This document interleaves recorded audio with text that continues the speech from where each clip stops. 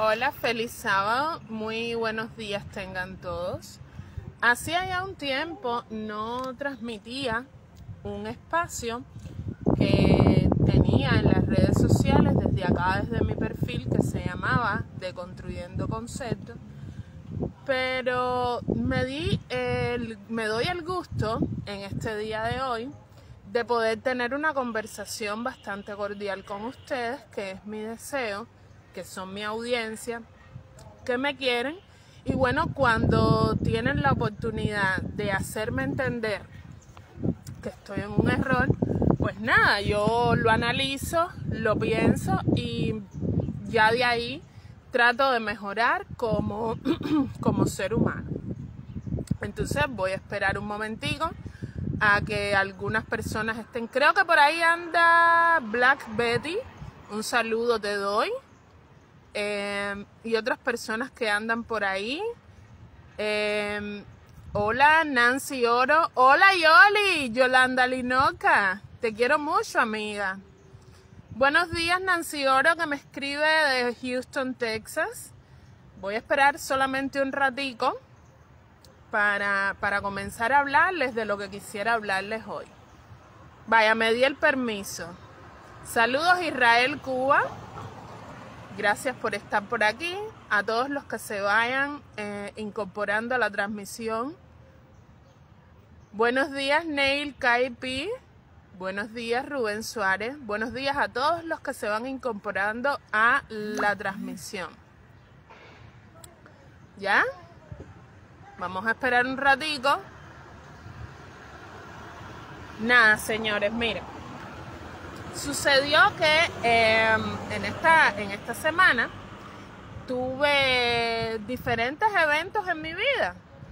Eventos que hasta cierto punto me hicieron cuestionar mi calidad humana y mis sentimientos.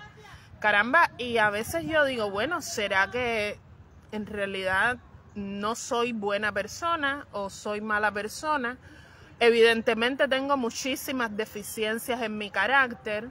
Evidentemente también, de, hecho, había alguien, uno de ustedes, que, ¿sabes? Que me, que me decía hasta cierto punto. Perdónenme, estoy un poquitico nerviosa, hace tiempo no transmito. Y esta persona me decía, contra, parece mentira que, sabes, que vayas a la iglesia y que tengas depositada tu fe en nuestro Señor Jesucristo y, todo eso me hizo mirarme por dentro, pensar, analizar y bueno, y llegar a, determinadas conclusiones que compartía con algunos amigos y con otros que, no son tan amigos. Miren, yo, yo soy de las personas que piensan, en primer lugar, para los que hacen referencia a mi fe, yo les voy a responder con el fragmento chiquitico, un fragmento chiquitico de una canción de Roberto Carlos que dice, todo lo que me gusta es inmoral, es ilegal y engorda. O sea, esa soy yo. Eh, esa, eh, eso, eso es lo que pasa conmigo, eso es lo que pasa con mi vida, pero, pero, soy consciente de que lo que hago muchas veces está mal y necesito el poder de Dios, necesito las enseñanzas y las guianzas de nuestro Señor Jesucristo para mi vida, para ser una mejor persona. Eso es sin contar para ser cada día una mejor persona, cosa que no logro. Yo soy un work in progress, ¿ya? O sea, yo voy cada día evolucionando porque además me empeño en eso. Voy cada día evolucionando como ser humano, pero evidentemente tengo muchísimas deficiencias que entre tantas cosas no las cuento, no se las cuento a ustedes por una cuestión de vergüenza. ¿Ya? Entonces, sí puede ser que eh, yo cometo errores. Mm, a veces, eh, no casi siempre, tengo actitudes que no son dignas de una persona que profesa tener mi fe. Pero bueno, caballero, así yo soy. Yo, yo vivo con una sola moral, no vivo con dos ni con tres. No es que yo sea en las redes sociales una cosa, en mi vida otra y en mi casa otra muy distinta. No, yo soy así. y, les rindo cuentas a Dios y solamente Él tiene el poder para transformarme. Ahora, ustedes ayudan mucho. ¿Por qué razón? Porque si en algún momento estoy mal, es bueno decir, mira caramba, sabes que estás mal y yo pienso y analizo. Entonces, sobre ese orden de idea, eso fue algo que pasó esta semana de acuerdo a, una, a una experiencia que tuve la oportunidad de compartir con ustedes.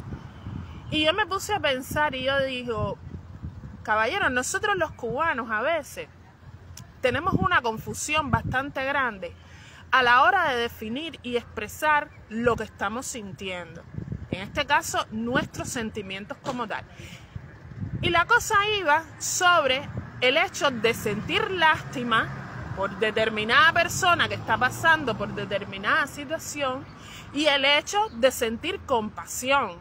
Note usted, lástima y compasión son dos cosas que pueden parecer iguales, pero que en su esencia son totalmente diferentes. Lógicamente, para yo poder compartir con ustedes, me preparé, porque no voy a venir aquí a cantinfliar, como me dice mi amiga Yeezy y otras más que andan por ahí. Entonces, cuando tú coges el diccionario, tú puedes entender que la lástima es un sentimiento de tristeza producida por el padecimiento o la situación de una persona en específico. Vuelvo a leer el significado. Lástima, sentimiento de tristeza y ternura producida por el, por el, mira, por el fallecimiento, producida por el padecimiento de alguien en específico. O sea, es natural sentir lástima. Para mí, la lástima es uno de los sentimientos que nunca quisiera que nadie sintiera por mí. ¿Y por qué razón? Vamos a tomar un, vamos a tomar un caso de estudio. Supongamos que una persona está fuera de Cuba y tiene familiares cercanos acá. Vamos a, a tomar, por ejemplo, a su madre. Un día cualquiera, como suele suceder, la madre de Cuba llama a su hijo y le dice, ay fulanito, Fulanito, mira, buenos días. Aquí estamos tu mamá, tu papá y yo sin comer, no tenemos comida, no tenemos dinero para comida, todo está caro, todo está mal, todo está... En fin, como en muchas ocasiones suele suceder entre familiares cercanos y personas que viven en el extranjero, que de ahí eh, se derivan muchos fenómenos. Pero bueno, vamos a suponer que eso sucede. ¿Qué pasa? Y lo que les decía de la lástima.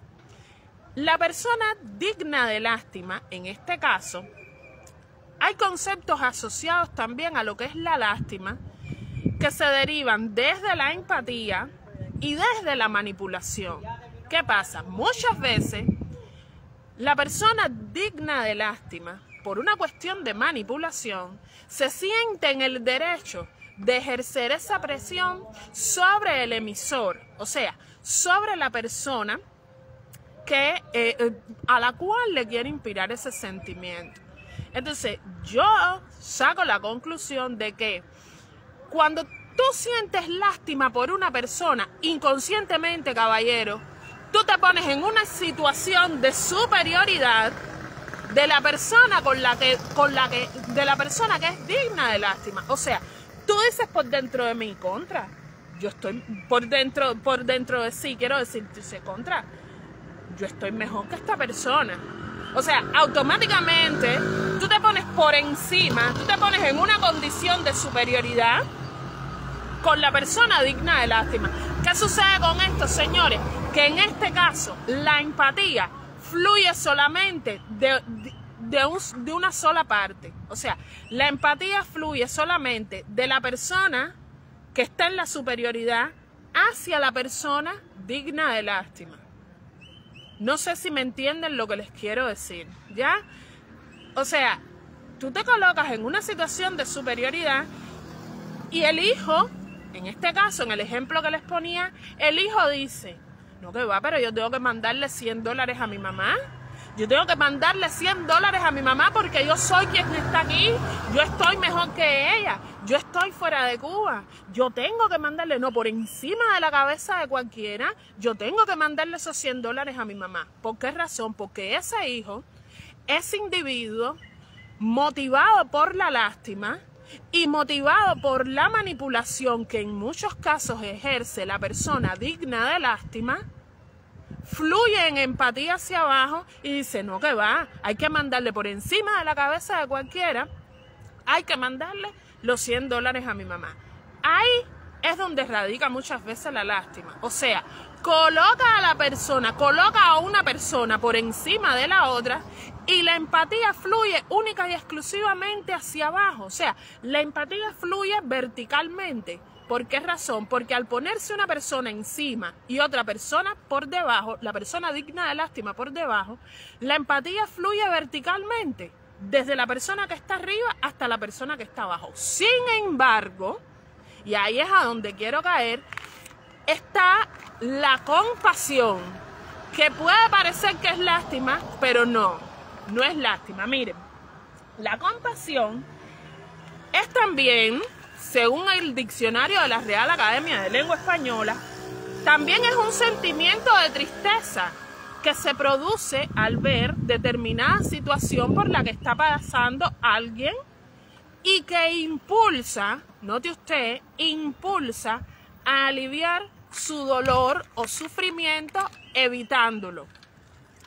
¿Qué pasa en este caso con la compasión? Mira, en la compasión, una persona, la persona digna de compasión, no se pone por debajo de la persona compasiva. En este caso, la persona digna de compasión se pone al mismo nivel que la persona compasiva. ¿Cómo les quiero decir, por ejemplo? Y en este caso, como bien les decía, en el caso de la compasión, la empatía no fluye de manera vertical, sino fluye de manera horizontal. ¿Por qué razón? Si el hijo del ejemplo anterior actúa movido por la compasión, ¿qué es lo primero que dice? Bueno, caballero, es verdad, mi mamá me está diciendo que no, está llorando, llorando desesperada porque no tiene nada que comer. Contra, pero mi mamá se ha puesto en mi lugar. Mi mamá sabe cuánto yo pago de gasolina. Mi mamá sabe cuánto yo pago de la renta. Mi mamá sabe que si yo me quedo sin trabajo me voy directamente a la calle porque no tengo con qué pagar la renta.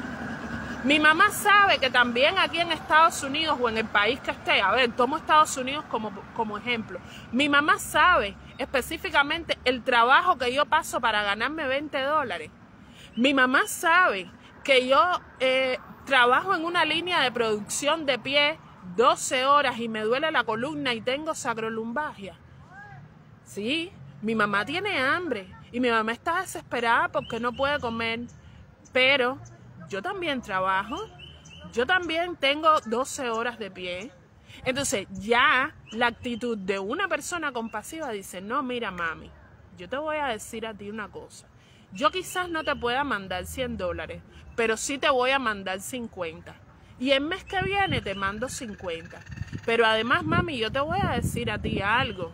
Tú tienes, tú estás bastante saludable para ponerte a trabajar. Entonces, no me cargues a mí con toda tu responsabilidad económica. Más bien ayúdame. Yo te voy a ayudar, pero ayúdame tú a mí manteniéndote saludable. Ayúdame tú a mí haciendo ejercicio de poder trabajar, aún sabiendo, mami, que en Cuba no alcanza nada. Yo te ayudo, lógicamente yo te voy a ayudar, pero no me tires contra las cuerdas. No me tires contra la tabla. Así considero yo, que actúa una persona con compasión. ¿Qué pasa? Se pone al mismo nivel que tú, toma acción, te ofrece ayuda, entiende tu necesidad, pero también es, o sea, ahí en ese caso la empatía fluye de manera horizontal, porque, ok, yo te ayudo a ti, perfecto, pero tú también me ayudas a mí y los dos caminamos y te pongo en una condición en la cual tú también puedes ayudarte a ti mismo. Note usted, la lástima, en la lástima, la empatía fluye de manera vertical, sin embargo, en la compasión, la, eh, perdón, la, la, sí, a ver, en la compasión, la empatía fluye de manera horizontal. Entonces, ¿por qué yo digo esto? Porque muchas veces tenemos que analizarnos nosotros mismos y tenemos que entender que no se trata de que nosotros seamos malas personas. No se trata de que de que nosotros tengamos malos sentimientos. Se trata también de ayudar a impulsar a las personas a que tengan su mejor potencial. Señores, y eso desde la lástima no se logra. Desde la lástima, eso no se logra. Porque tú puedes decir, ¿sabes qué? Mira, por ahí está Yaima Carbonel, te quiero mucho, mi hermana. Bendiciones. ¿Sabes por qué? Porque mira, cuando tú tratas con lástima a un individuo, cuando tú tratas con, con, ese sentimiento de, ay, pobrecito, no lo estás ayudando muchas veces. Tú les tienes que decir, ok, pasó esto en tu vida, se te quemó la casa, está bien, dime, ¿qué puedo hacer? Pero tenemos que hacerlo juntos. Tenemos que hacerlo los dos. No es, ay, pobrecito, se me quemó la casa. Ay, ¿qué va? Yo lo tengo que ayudar. No, ok, sí, yo te ayudo, dime. ¿En qué? Pero tú también tienes que hacerlo. Tú también tienes que poner de tu parte. Ahí estamos, ahí estamos siendo compasivos. Estamos moviendo a compasión. Estamos poniéndonos en el lugar. Ve que la empatía fluye de manera horizontal. Ya.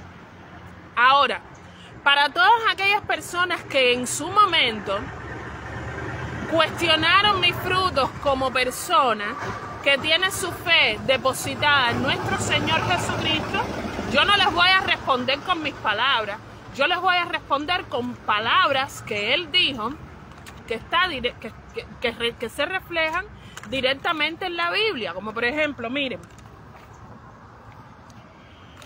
en el libro de Mateo, capítulo 9, verso 36, y lo pueden buscar, la Biblia dice, hola, bendiciones, ¿cómo están? Entonces, como les decía, en el libro de Mateo 9, verso 36, dice la Biblia que al ver la multitud, Jesús, propiamente se está, se está refiriendo a Jesús, al ver la multitud, tuvo compasión de ella. Note usted, la Biblia dice que Jesús tuvo compasión de la multitud tuvo compasión de ellas porque andaban desamparadas y dispersas como ovejas que no tenían pastor. ¿Qué quiere decir con esto? Que Jesús se dio cuenta que la gente andaba sin una guía moral, pero no dijo, ay no, pobrecito, no, no, no, no, no.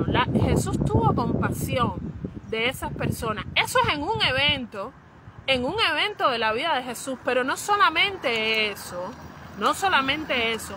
Cuando Jesús multiplicó los panes y los peces, en, ese contexto, que usted lo puede leer entre, entre otros capítulos, en el libro de Marcos, capítulo 8, verso 2, a ver, ¿qué, ¿qué, fue lo que sucedió? Llevaban días y días, parafraseando un poco lo que dice la Biblia, Jesús llevaba días y días enseñando a las personas, las personas estaban así tontitas o escuchando y eh, entendiendo lo que Jesús les estaba hablando, pero llevaban días sin comer, días, días sin comer, escuchándolo ahí y ya la gente tenía hambre, pero la gente prefería quedarse escuchando lo que Jesús les estaba enseñando antes de ir a comer. Pero Jesús, que es Dios, que es Dios, porque, porque yo lo creo que es así, Jesús, que es maravilloso, dijo, tengo compasión de esta gente, porque ya hace tres días están conmigo y no tienen nada que comer. Note usted, Jesús sintió compasión, Jesús entendió la necesidad, Jesús entendió que él estaba hablando, hablando y hablando, pero que la gente tenía hambre. O sea, hay que hacer algo y es cuando sucede el milagro de la multiplicación. No fue que Jesús dijo, ay, pobrecito, ay, no sé qué. No, no, no, no, no. Él entendió que la gente tenía hambre, caballero. Entendió que la gente tenía hambre y dijo, bueno, dale, ¿qué vamos a hacer? El resto de la historia, algunos la conocen, otros no. Dijo, vino un muchacho, le dijo, bueno, mira, señor, yo lo que tengo es esto, eh, estos panes y estos peces. El señor oró y se multiplicó la cosa. Perfecto, Dios hizo un milagro. Pero un milagro movido por la compasión, caballero, no movido por la lástima. Por eso yo les digo a ustedes una cosa. Y el cubano tiene que aprender a que una cosa es compasión y que otra cosa muy distinta. El, cubano tiene que aprender muchas cosas, muchas, muchas cosas. Que yo, dicho sea de paso, aporto, porque si me dijeran, tú eres la policía moral, tú conoces de la... No, no, yo no conozco de nada, yo sencillamente hablo de lo que yo creo y de lo que yo entiendo. Entonces, eh, es necesario que conozcan de muchas cosas. Y hace, hola Luna, ¿cómo anda? Hace que nos revisemos por dentro, veamos cómo somos, veamos en qué condición estamos y eso hace parte también de la libertad. O sea, el hecho de ser libres nosotros mismos como seres humanos, de entender nuestras emociones, de entender nuestros sentimientos y de entender qué es lo que me dio el método. ¿Por qué razón? Porque Jesús dice, conocerás la verdad y la verdad te hará. Bueno, se interrumpió la transmisión, pero ya estamos de nuevo. Dice eh, que, dice, como les decía, Dios te da, ah, en el caso mío, Dios te da el sentido y Martí te da el método. Jesús dijo, conocerás la verdad y la verdad te hará libre. Y Martí, ¿qué fue lo que dijo? Ser cultos es el único modo de ser libre. Jesús me dio el sentido, pero José Martí me dio el método. Nada, mi gente, muchas gracias. Tengan un feliz sábado. Que Dios les bendiga mucho. Y nos vemos en otra ocasión.